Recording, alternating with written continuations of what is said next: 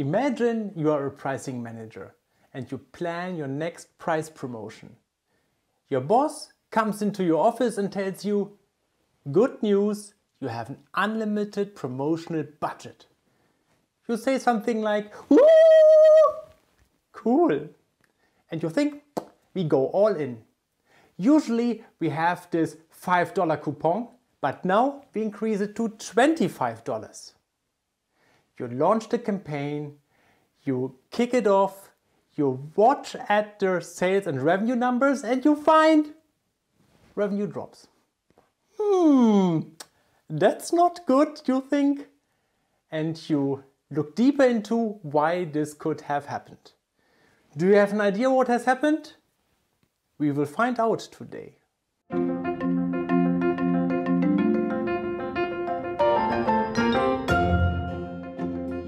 Promotional tool that you as a pricing manager applied were coupons redeemable for various products of a specific brand or product line.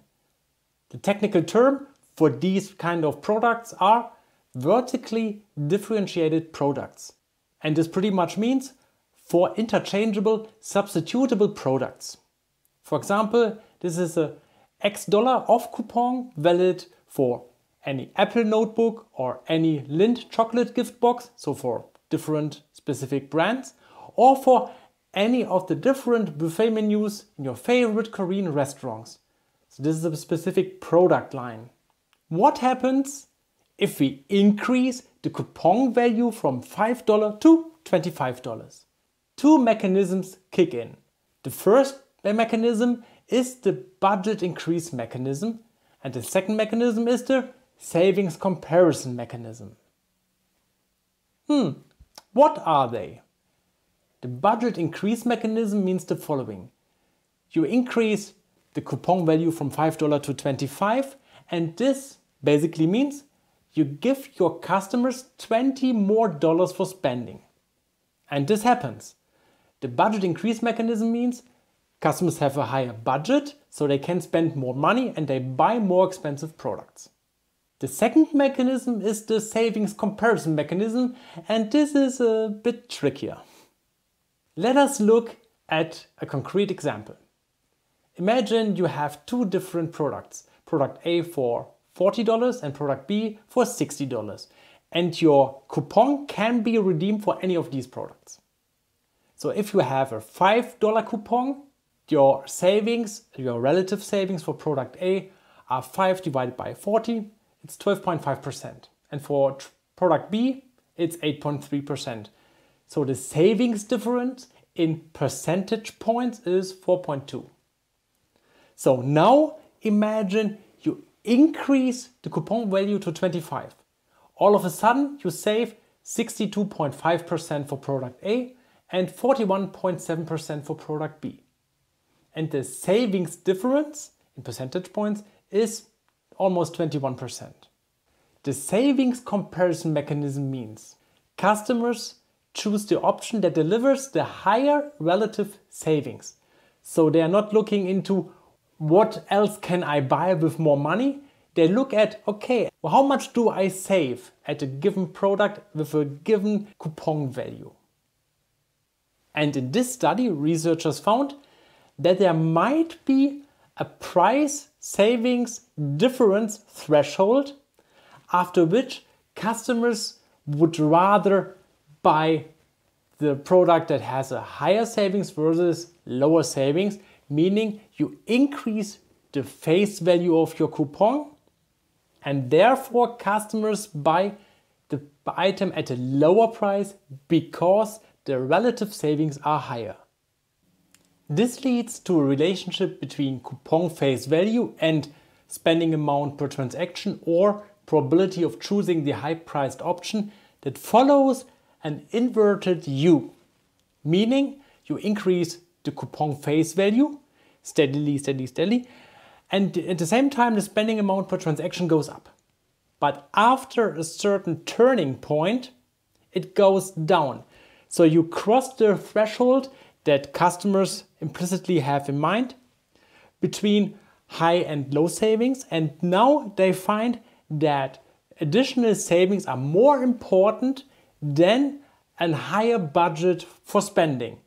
After this turning point, a higher coupon value increases the perceived savings differences between the low price and the high priced option so that the spending amount per transaction drops after this point or the probability of choosing the high priced option goes down again.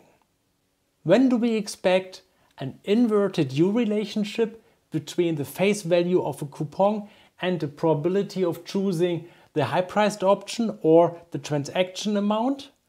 And when do we expect a linear positive relationship between the coupon face value and the probability of choosing the high price option and the amount per transaction?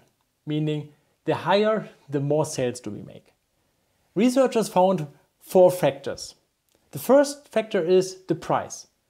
So when customers are more likely to compare prices, and implicitly the researchers concluded that for high price items that might be the case, expensive products lend themselves more to moderate face value coupons. So increasing to a higher face value might reduce the transaction amount. For less expensive products, we expect this linear relationship. The higher, the more sales do we expect. The second is the number of eligible items.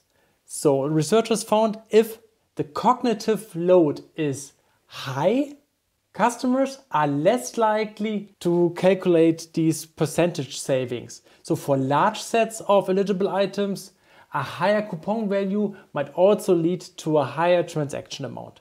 And if the set is small, we are more likely to expect the inverted U relationship between coupon face value and amount spent per transaction. The third factor is the motivation to compare prices.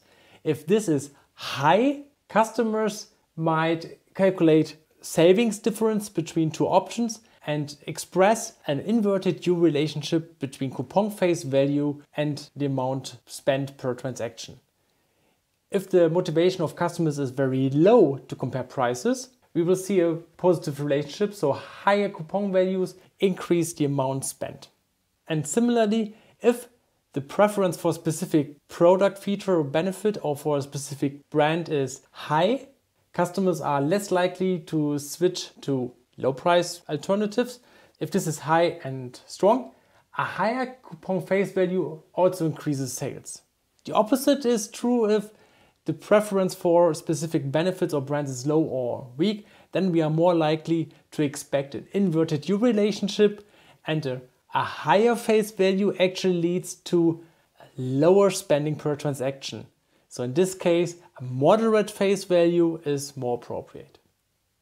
I hope these tricky insights about the face value of coupon sent a spark of inspiration to you.